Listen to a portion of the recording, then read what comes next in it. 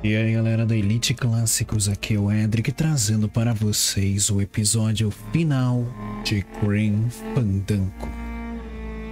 Eu já não disse para você ir embora?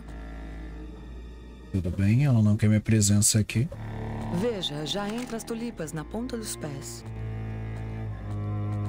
Tá, eu não consigo fazer nada disso aqui. Deixa eu ver... Eu não tenho minhas armas, minha foice não tá aqui. Bom. Acho que o jeito é realmente ir lá pra cima. Já que não tenho minhas armas, não tenho mais nada.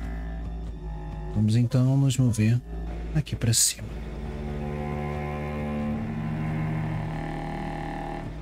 E aqui em cima, opa. Ser o mausoléu assassino de Hector. Então vamos entrar. Não temos outra opção.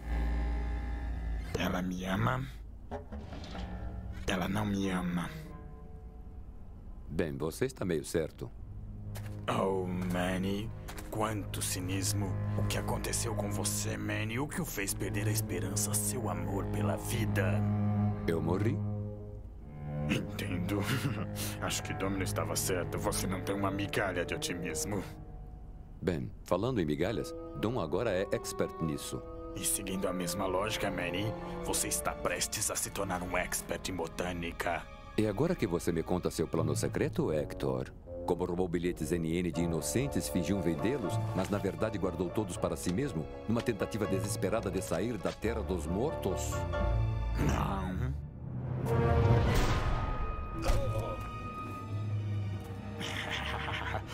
Agora é quando você se contorce de dor por cerca de uma hora. Porque o idiota do Bosley fugiu com toda a brotadela de ação rápida. Essa brotadela tradicional vai brotar você. Mas levará muito tempo. Lamento dizer.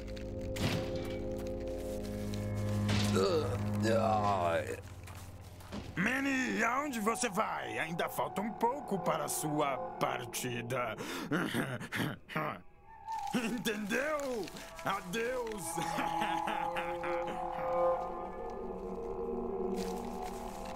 Ah, ah, ah.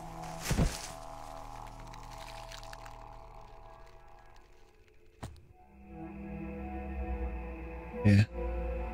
Isso é bem pior do que imaginávamos. Verde, espalhando. Ah, verde, espalhando.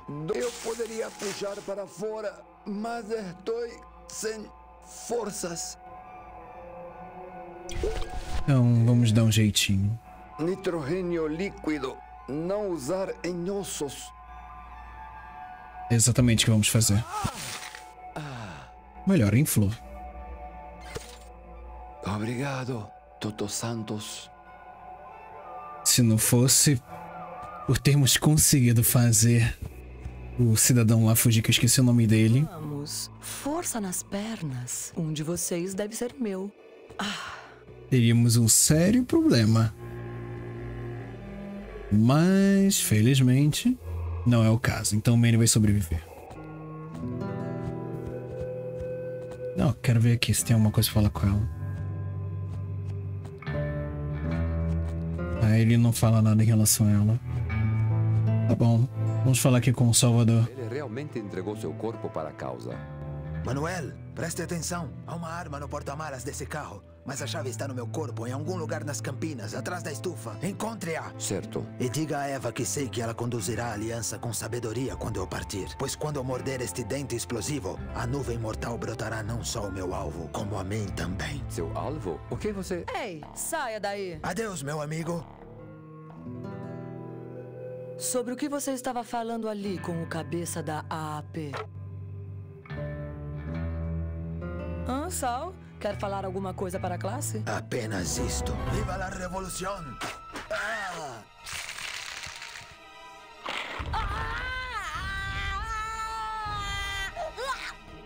Ele realmente entregou seu corpo para a causa. Ele está bem onde está.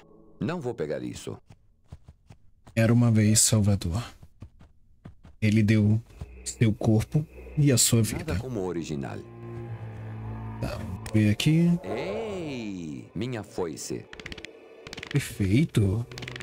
Opa. agora vejam só, Sal sempre teve um bilhete. Ele sempre foi um alvo, vamos dizer assim, sem piadas com o nome. Como o bilhete de Salvador ainda é atraído para ele. É incrível como o bilhete de Salvador ainda é atraído para ele. Uh, interessante isso. Então quer dizer que o bilhete dele ainda é atraído por ele. Muito bom saber disso. Será muito bom, porque vamos procurar o corpo dele. E onde, nesse meio de folhas, plantas, flores, iremos encontrar o corpo dele?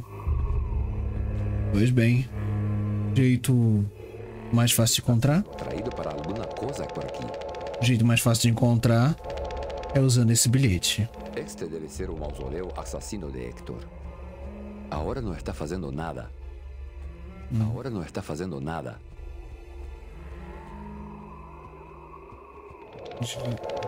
Parece estar sendo atraído para alguma coisa por aqui. Parece estar sendo atraído para alguma coisa por aqui. Vamos ver. Isso aqui é um pouquinho mais difícil de ser encontrado. Não tá por aqui. Ah, ele tá por aqui. Por baixo então. Embaixo. Este deve ser o mausoléu assassino de Hector. Pouco mais pra cá, talvez. Opa, achamos. Eu gosto muito dessa cena.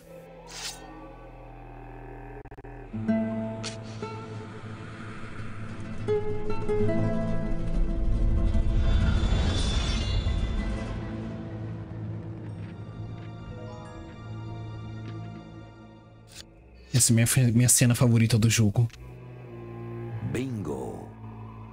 Está bem onde está.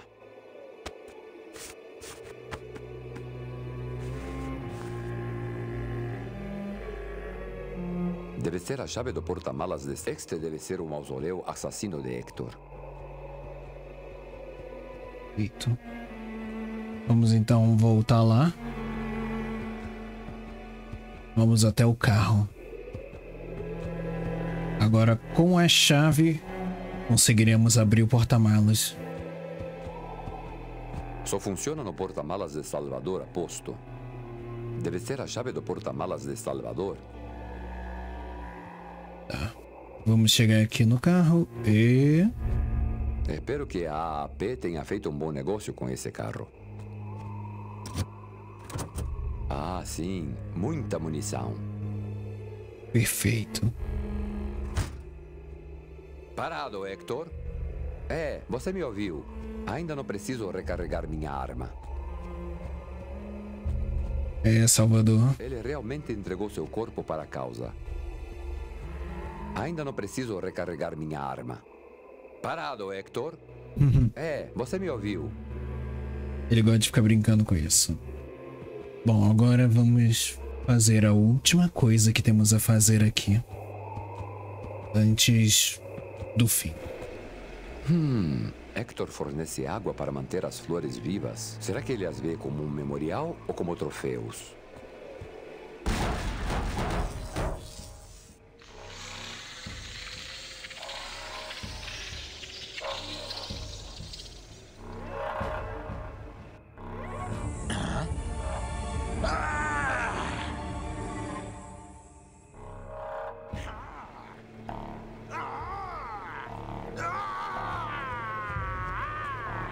Isso não me soa bem. Acho que alguém vai ser brotado. O que está havendo aí? Vamos ver então. Se prepare.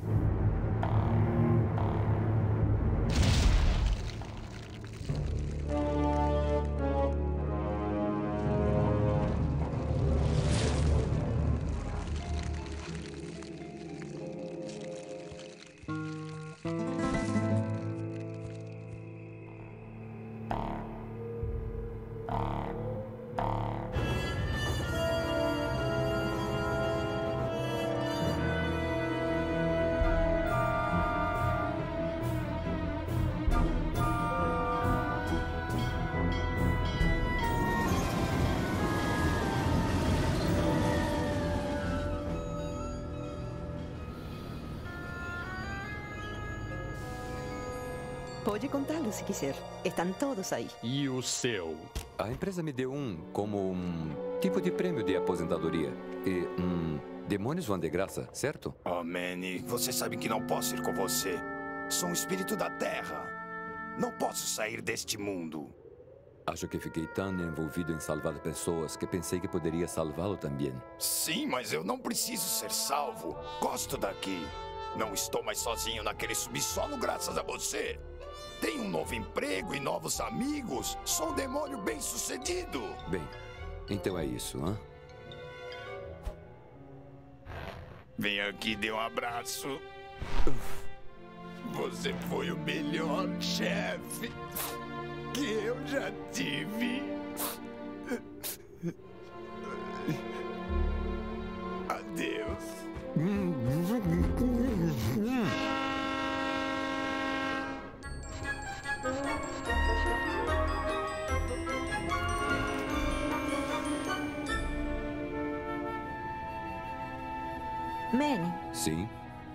Chegarmos ao próximo mundo, O que é, meu anjo? nós vamos ficar juntos? Sabe, querida, se algo que aprendi nisso tudo é o seguinte: ninguém sabe o que vai acontecer no fim da linha.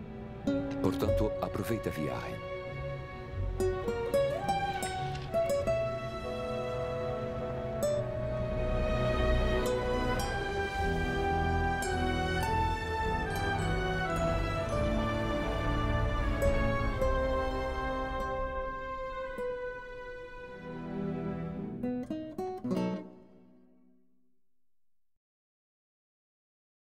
Para o nosso amigo Shepard. E esse foi Green Fandango. Eu espero que vocês tenham gostado desse projeto. Infelizmente houveram algumas travadas durante o projeto todo, mas isso daí é algo que eu está fora da minha ossada, eu não tenho como fazer nada em relação a isso. Não tenho PC potente, então. É. Mas é isso, espero que vocês tenham gostado. Eu tentei mostrar o máximo possível.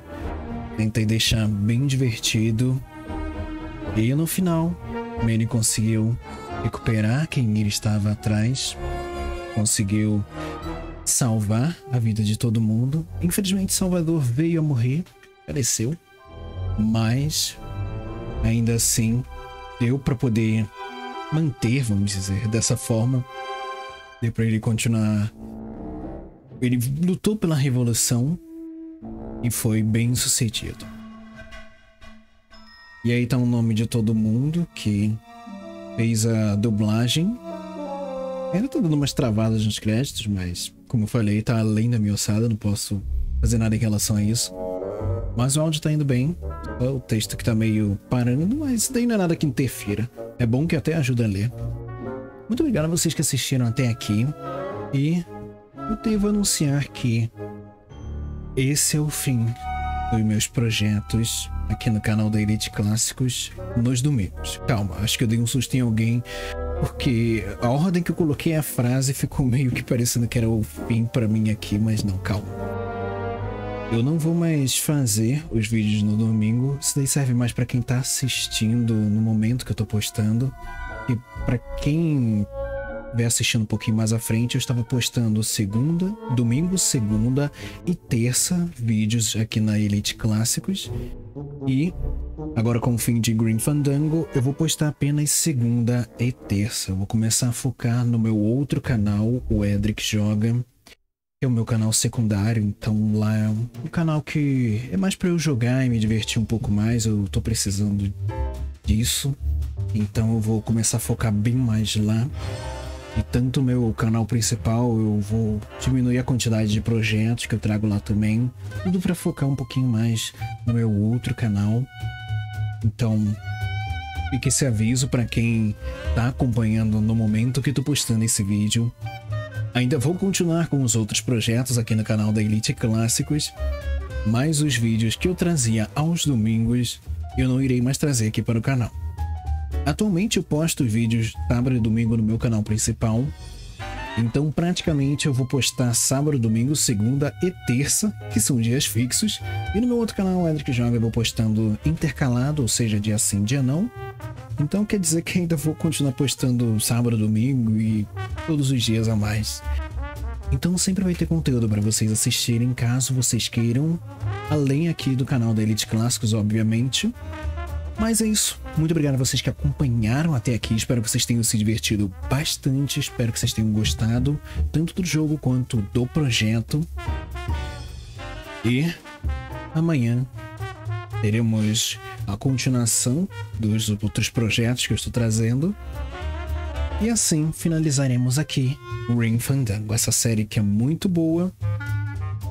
E também tem um joguinho que eu tava pensando em jogar. Eu gosto muito de jogos point and click, então tô pensando em trazer um outro jogo, só que não vou trazer aqui para Elite Clássico, eu vou trazer lá pro Edric Joga, um pouquinho mais para frente, eu vou fazer algumas remodelagens, vou fazer algumas coisinhas, então novidades eu quero trazer para meus outros canais. Por isso que vou precisar desse tempinho a mais para poder focar nos meus outros canais.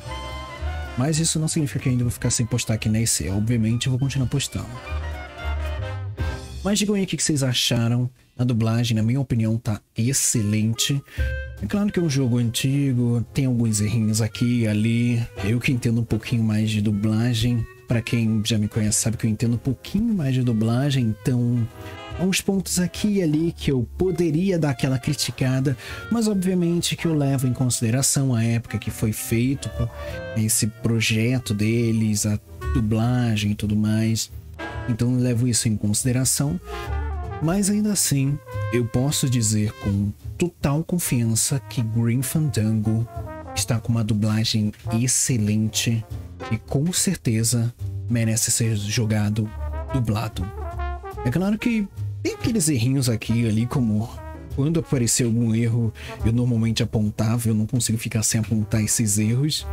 Como por exemplo o Manny, quando a Lola brotou, o Manny gritando com uma voz totalmente diferente. Tem algumas cenas que o Manny ele muda a voz.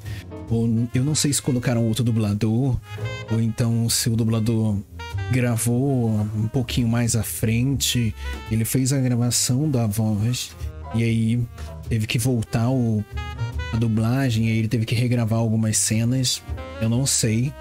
Obviamente, os dubladores, quando eles gravaram, isso é uma curiosidade que poucas pessoas sabem, quando eles gravam, eles não têm nada do jogo. Eles não têm cenas, eles não têm nada do que acontece. Eles só têm um texto indicando o que, que acontece, mais ou menos.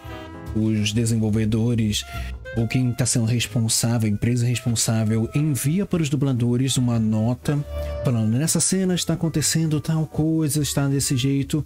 E aí o diretor tenta compreender, tenta interpretar e passar essa interpretação para o ator, está parar a dublagem do personagem, para que o ator tente entender segundo o que ele escuta com a voz da versão original ou a versão que ele está ouvindo para poder fazer a dublagem e junto ao diretor ele tenta fazer uma interpretação que fique muito aceitável e às vezes até melhor do que a versão que veio para ele dublar. Então temos que levar em consideração que jogos feitos dessa forma, a maioria dos jogos são feitos assim, sem ter nenhum feedback do que está acontecendo, eles merecem um pouquinho mais de valor. Então, por mais que jogos, principalmente no idioma original, em inglês. Olha a versão brasileira aí. Então, jogos em português, ou melhor, jogos em inglês, que é normalmente a língua original que é feito o jogo, eles merecem sim ter a dublagem é, aproveitada, vamos dizer assim, ter uma, vamos chamar de degustação de quem está jogando o jogo mas obviamente não deveremos, não devemos desprezar a versão brasileira quando bem feita. Como já diz o dublador do Homem de Ferro, que eu esqueço o nome dele, eu sempre esqueço o nome dele, que ele fez até o Yusuke Urameshi. Ele sempre diz: apreciem a boa dublagem. Então, é isso também que eu deixo a vocês. Apreciem a boa dublagem. Green Fandango não tem uma dublagem perfeita, mas tem uma dublagem muito boa e ela merece ser apreciada. como mostrei também com os demôniozinhos, que a voz deles, o efeito na voz deles em inglês é muito melhor do que na versão em português, mas ainda assim, eu jogaria esse jogo de novo em português. Obrigado por jogar e obrigado a vocês que assistiram até aqui. Muito obrigado a todos pela presença e pela companhia nesse projeto não se esqueçam de passar aqui no canal da Elite Clássicos nos outros dias para acompanhar os outros projetos dos outros membros. Não esqueçam de passar também no primeiro link na descrição, que é o meu canal principal, caso queiram conhecer mais dos projetos que eu trago, conhecer mais do conteúdo que eu produzo. Muito obrigado a vocês que assistiram até aqui e a gente se vê no próximo vídeo aqui no canal da Elite Clássicos.